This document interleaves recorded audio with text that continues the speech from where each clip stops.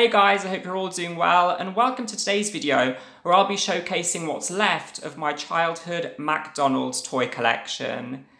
Let me tell you guys, this is going to be a bittersweet video because it was so fun to be able to find these again, put them all out, and I'm going to take a look at each of them and show you guys. But the bitter side to the sweetness is that as I look at these, I remember all the ones I had and unfortunately no longer do have you know, we grow up, we move homes, in my case, multiple times, and some toys got ruined, some got lost. So these truly are the ones that survived. And for that, I definitely am going to start off by giving them an applause because there were lots of changes. But, but yeah, just a quick disclaimer or a few quick disclaimers before I show you each of them individually. So I might not remember some of their names correctly, but don't worry, I will be posting imagery to let you know which collection they're from on screen, but I'll be doing this vocally um, from the top of my head. And another thing is that some of them will be missing pieces because again, this is from my childhood. So, you know, some of them might have chips, scratches, although most of them seem to look good, which is surprising. Um, but yeah, and you also may hear me mention other collections or other toys from, you know, the collections as I go through them. I'll be remembering stuff because yeah, I had more than than the ones that I have now, but I am very happy and humble to have the ones I still do. So, without further ado, let's take a closer look at each toy that's left from this collection.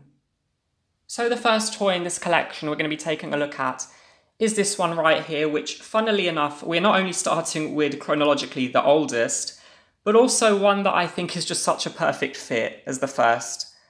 A Happy Meal box, because of course that's what the toys used to come in.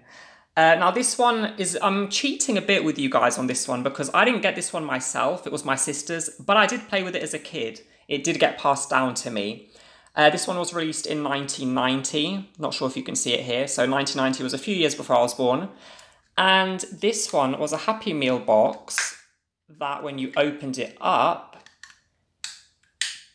it was a dinosaur. So a dinosaur, a bit like a transformer, that became a Happy Meal box. Oh, this is a bit hard to open. No pressure on camera, right? But here he is, a dino Happy Meal box. I remember playing with this, yeah. I definitely remember playing with this one. I think this collection also had McDonald's fries that turned into like a robot of some sort. Or that might be from a different collection now. You will hear me mention ones that aren't on camera because I'm remembering ones that I had. I think it was from this collection too. But anyway, this is the first one I'm showing you guys, and this is how we're going to kick off the collection. So here he is. The second toy I'm going to show you guys from my collection is this lion, which is from the year 2000. I believe I got this one while I was on holiday in Portugal, and it says 2000 here, right? Yep.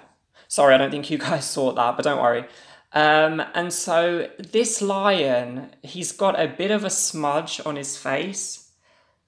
I don't know his name. I think I used to call him either Leo or Leonard or Lenny the lion, because I'm remembering that now that I'm looking at him. But this is from the year 2000, so I was like five years old. Jesus Christ. I do remember this one vividly. And yeah, I will be inserting, of course, here somewhere Uh, a photo for you guys to see what collection he's from. But I don't know if he's from a TV show. I just know I'm looking at him and I'm thinking Leonard the Lion. Does that ring any bells? Yeah, definitely an old one, but a very nostalgic one. And moving on now to some other plushes from the year 2000, we have the McDonald's Disneyland Paris finger puppets. So here at the back, all of them say 2000 Disneyland Paris. These, of course, were costumes that the Disney characters wore during a parade.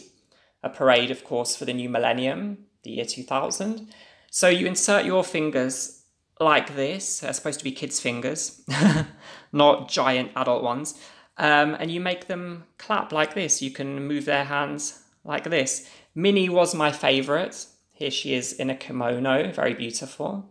Definitely my favourite. I also had Mickey, he was dressed as an astronaut, and I had one of the chipmunks. And so this is Donald from the collection. He's dressed in Mexican attire, if I'm not mistaken.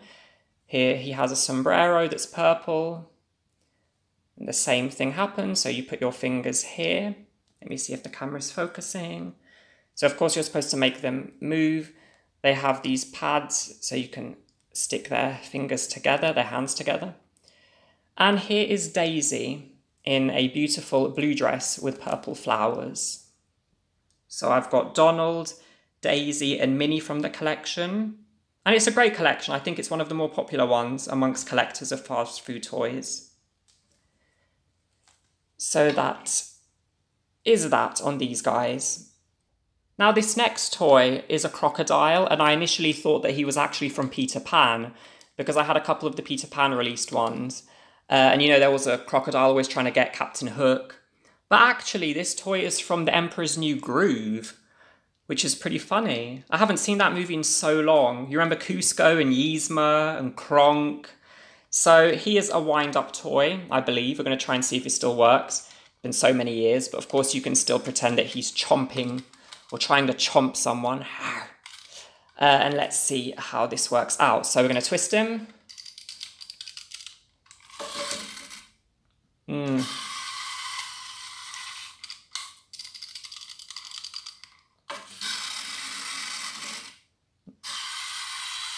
Yeah, doesn't work that well.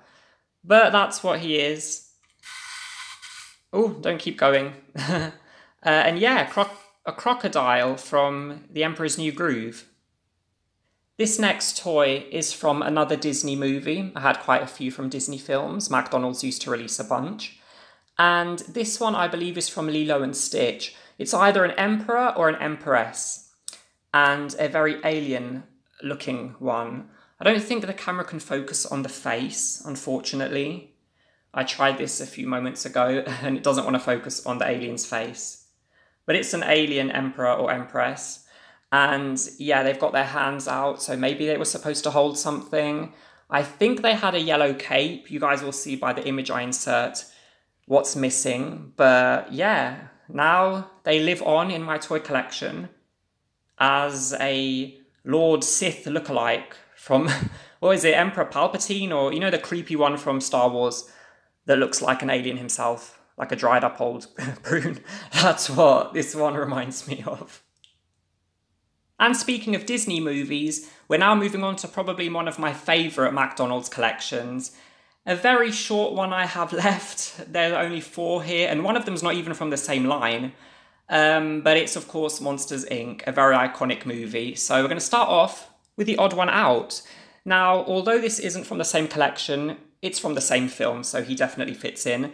This toy is either the fast food American or Australian Sully, I believe, because I remember I had the UK one and he was a, a small soft plush, which I thought was quite weird because, you know, he's taller than Mike Wazowski in the film. But yeah, so I have this Sully that I think I got at a charity shop or a car boot sale, and it ended up fitting in better than the UK one. So he puts his arms up. This is Sully, of course, from Monsters Inc. You can, I think you can rotate them the whole way. Yep, you can rotate his head, which is kind of giving uh, Exorcist, if you really want to do something creepy. Oh god, Boo would crap her pants if he did that. Uh, but that's about it. Yeah, so he isn't from the UK one, but I had him as a kid.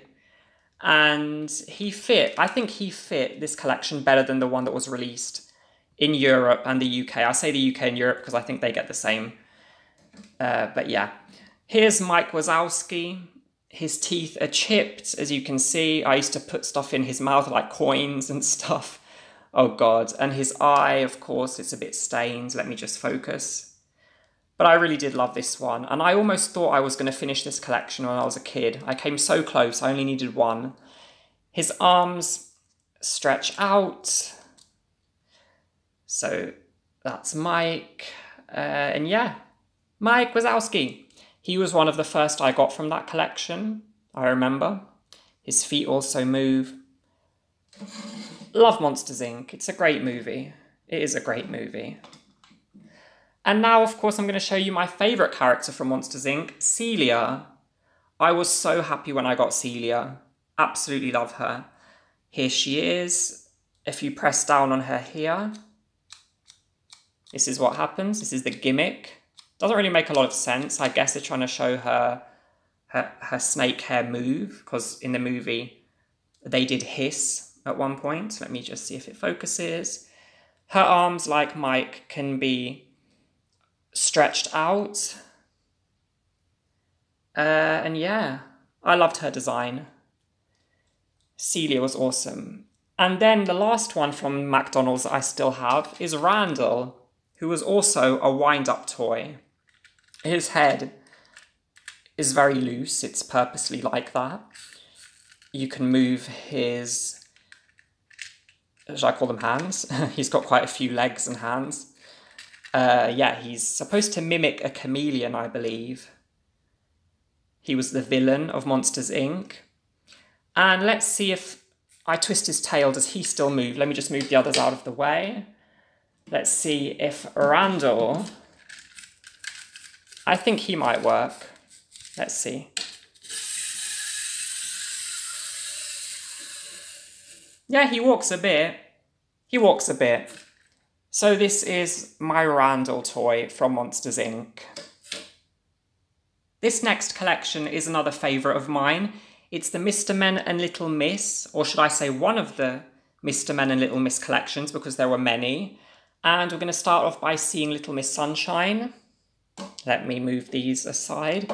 So McDonald's also did tons of Mr. Men and Little Miss toys, from plushes to these that are hard plastic. And her nose used to turn red, I think, or her cheeks. Yeah, I think it was her cheeks. They used to have blush, but I don't think it works anymore. The gimmick is supposed to touch these buttons, I think. Uh, but yeah, that's Little Miss Sunshine. And I still have the book she came with. Each of them came with a book. So it's surprising that I still have the book she came with. It's a small little book. I'm not going to read them, of course, in this video, but I will quickly show you them or hers. And here we have Mr. Bump. I also have his book. So here's Mr. Bump's figurine.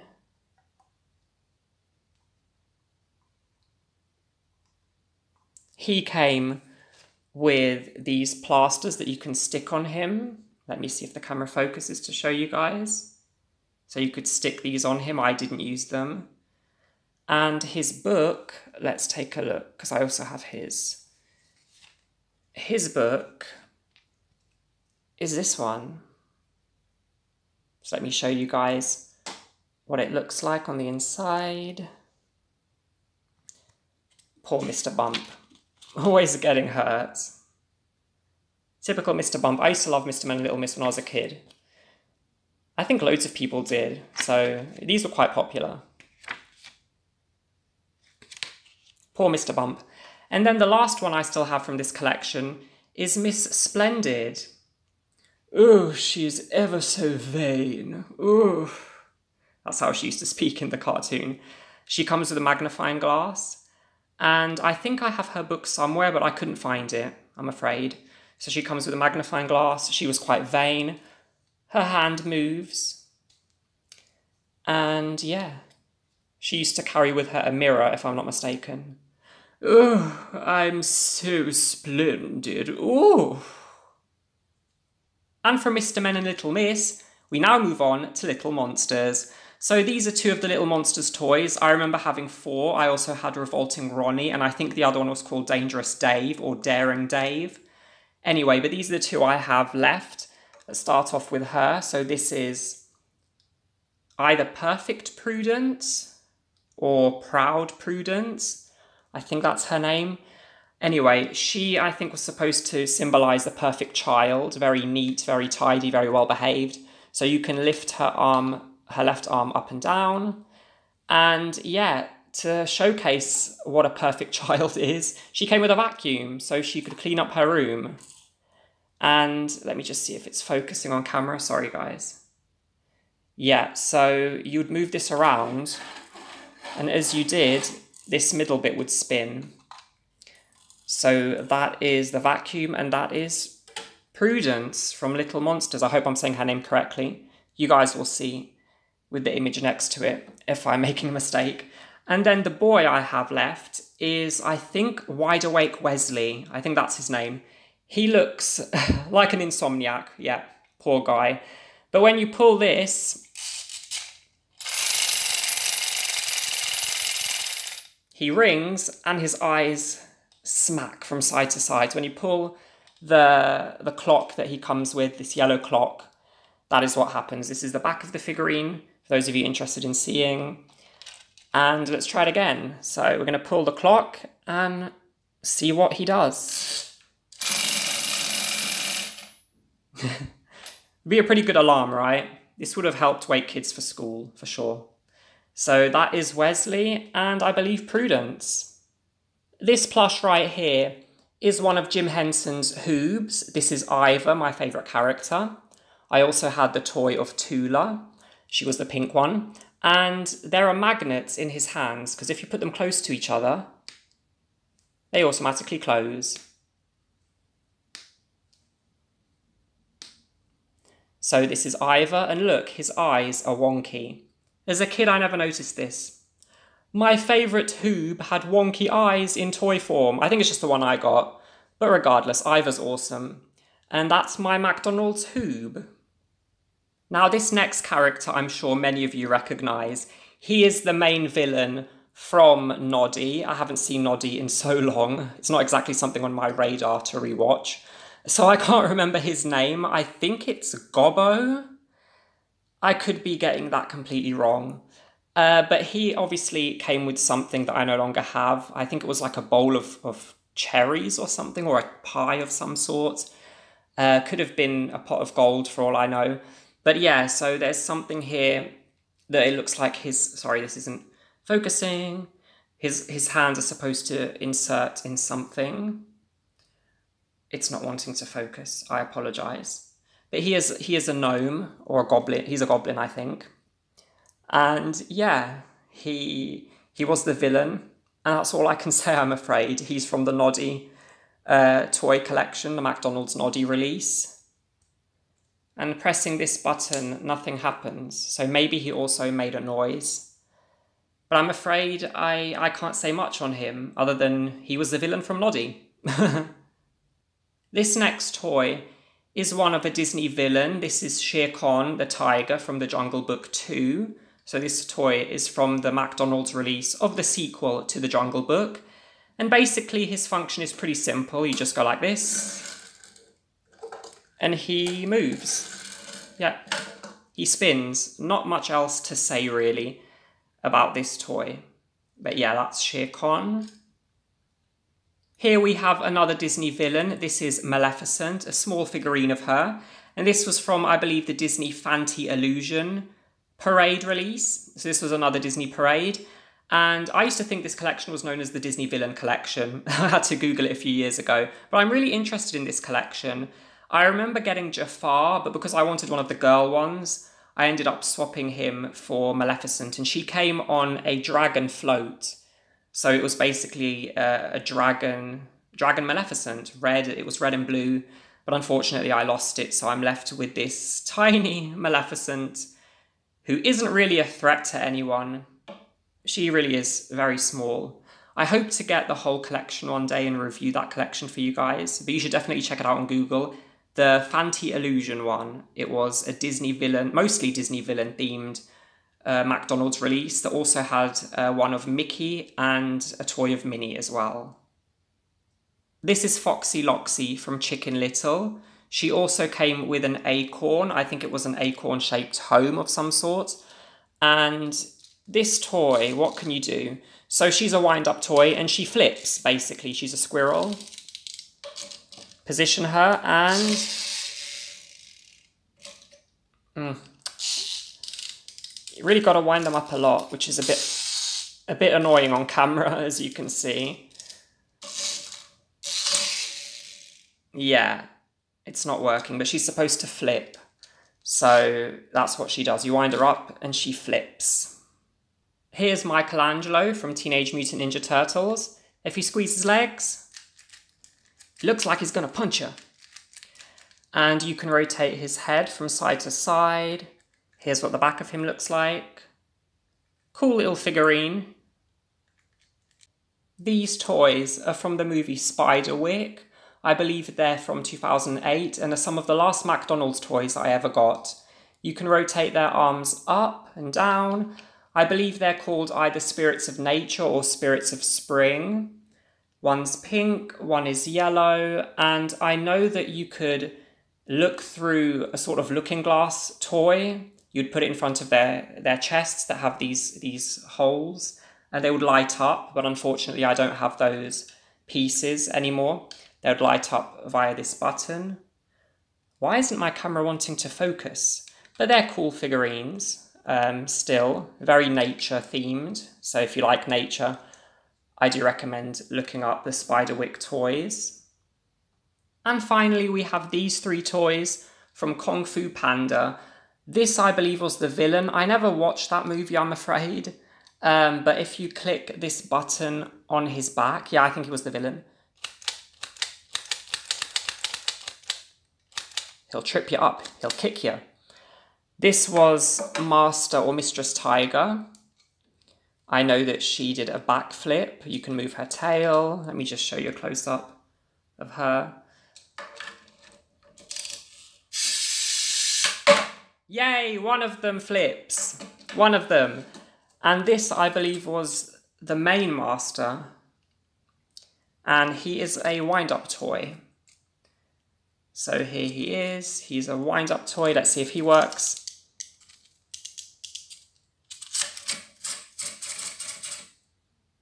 Kind of. kind of. Okay guys, and that concludes my childhood McDonald's fast food toy collection. I hope you've enjoyed this video. Let me know in the comments below your thoughts. If you recognise any of these pieces, did you own any of them? Did you own different characters from some of these collections? Let me know your thoughts. We can discuss it in the comments below, of course. And I hope this has helped bring back some positive nostalgia for some of you guys. Thanks so much for choosing to watch this video and have a great day. Bye guys.